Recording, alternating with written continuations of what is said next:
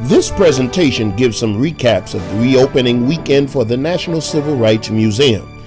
In 2013 and 2014, the National Civil Rights Museum underwent a $27.5 million renovation to further support its mission of education, information, and inspiration. The renovation, the museum's first since opening in 1991, was significant, adding more than 40 new films, oral histories, and interactive media to the museum's already robust collection of artifacts and exhibits. In addition, the museum's updated modern design reminds visitors of its change to keep pushing civil rights issues forward.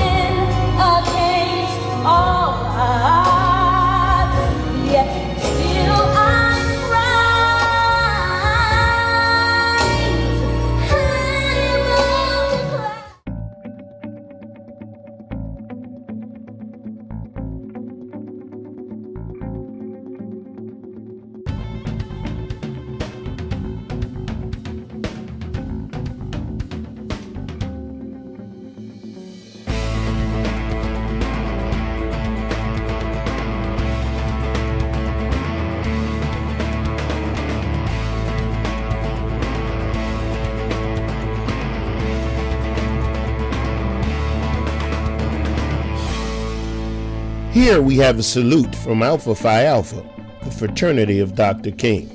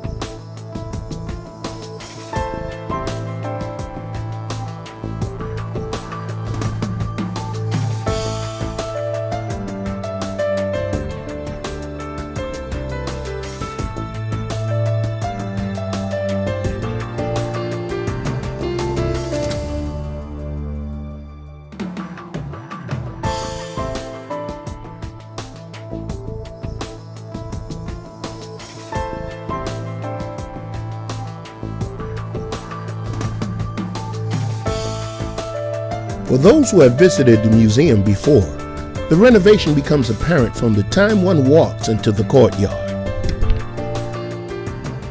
Interactive displays greet you as you walk toward the museum's entrance.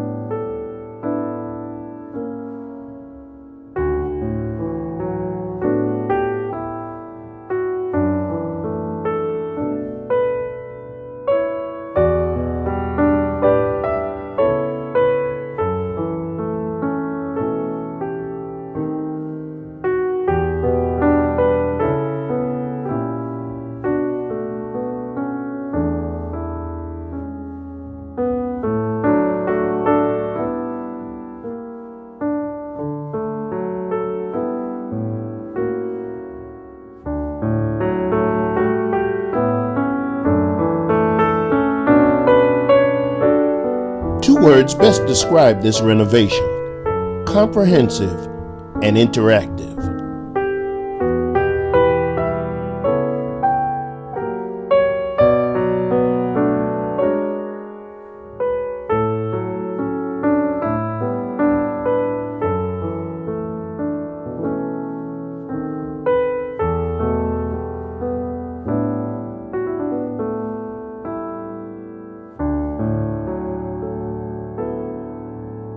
Previous visitors to the museum will be pleased to see how some of the original exhibits have been redone.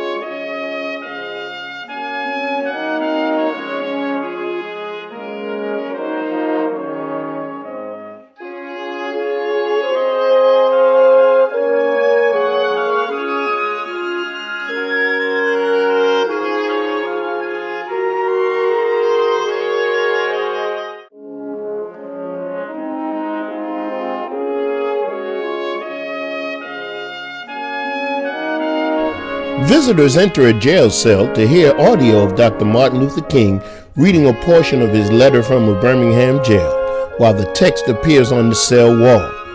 A multimedia wall illustrates intense media coverage from around the world and shows pivotal moments and speeches during the campaign, closing with President John F. Kennedy calling for the passage of a civil rights bill.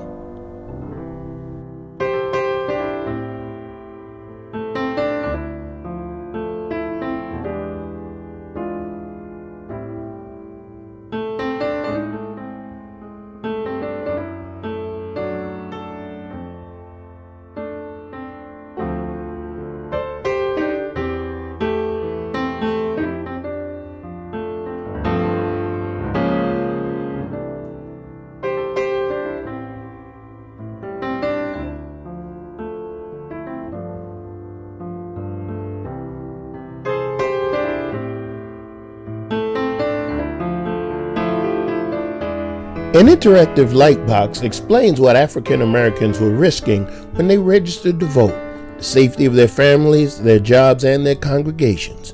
Visitors can listen to a phone conversation as President Lyndon Johnson and Dr. Martin Luther King Jr. worked together to pass the Voting Rights Act.